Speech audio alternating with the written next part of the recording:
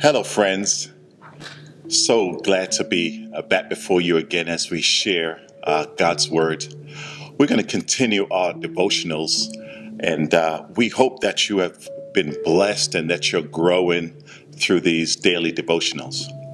We're going to continue in the book of Acts, chapter 9, verse 22 to 25.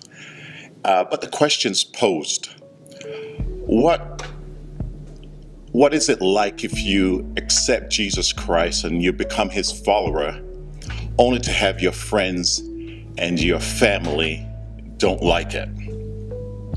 Saul's very familiar with that as he's turned his life around and he's going to anyone that would hear or listen about this good news that he's now sharing. Along the way, he has gained some enemies. Everyone has a need to feel important, especially liked.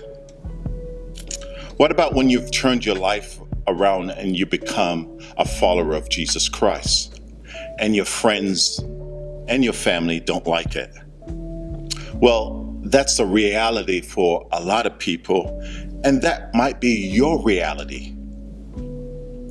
You may be ostracized, you may have even been blacklisted, and you might have been even called a Jesus freak.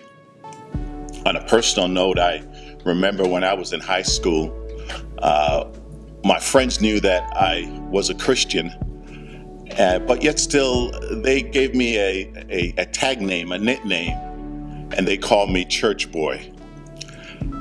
I wanted to fit in, I wanted to be like everybody else, but I had made a decision in the early part of my life that I wanted to please the Lord. David shares this comforting word when he's being slandered. In Psalms uh, chapter 27, verse 10, he says these words He says, When my father and my mother forsakes me, then the Lord will receive me. So it brings us to Acts chapter 22, Acts chapter 9, verse 22 to 25, it reads Yet Saul grew more and more powerful, and he baffled the Jews living in Damascus by proving that Jesus is the Messiah. After many days had gone by, there was a conspiracy among the Jews to kill him. But Saul learned of their plan Day and night they kept close watch on the city gates in order to kill him, but his followers took him by night and lowered him in a basket through an opening in the wall. Here you see Saul now preaching the gospel to his former buddies that he used to rub shoulders with. He could have easily been intimidated standing before them preaching the good news. What they remembered about Saul was that he was their champion. He was the person that ran with their message. And that message was against Jesus, it was against the gospel. They didn't believe that Jesus was the Messiah.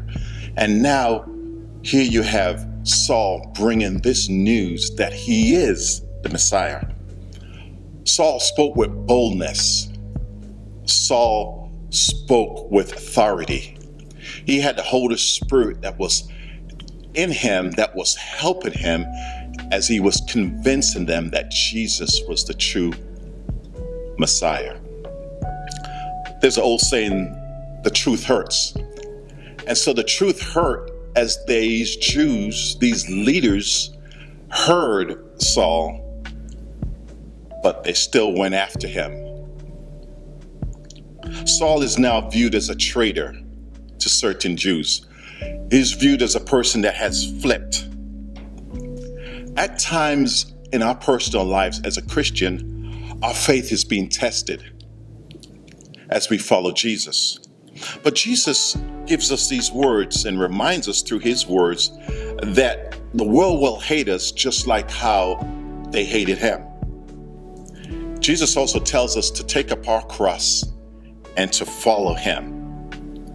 And Jesus says that when we partake in slander, when we're been taken advantage of as, as a Christian, Jesus said, You are taking part in my suffering. But Jesus also tells us that there are more benefits than risk when we follow him. In Matthew chapter 5, verse 10 through 12, Jesus says these words He says, Blessed are those who are persecuted for righteousness' sake, for theirs is the kingdom of heaven.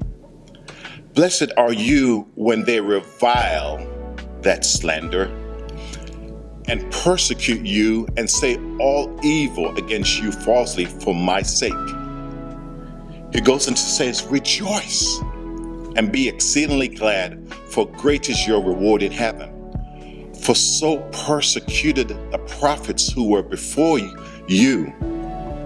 Saul goes on to say in other chapters that his light affliction is only but for a moment And it doesn't compare to the reward, his eternal reward that awaits him.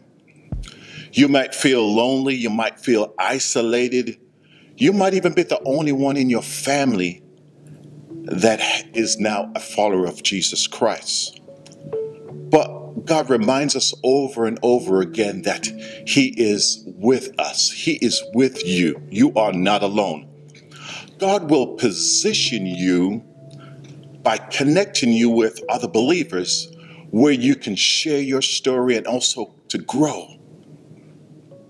I'm thinking about two young men in the Bible uh, named David and Joseph. They were misfits in their family. Uh, their family looked at them as being less than. They looked at them as being too small, unimportant, but yet still God used these two young men to save their family from destruction and also a nation.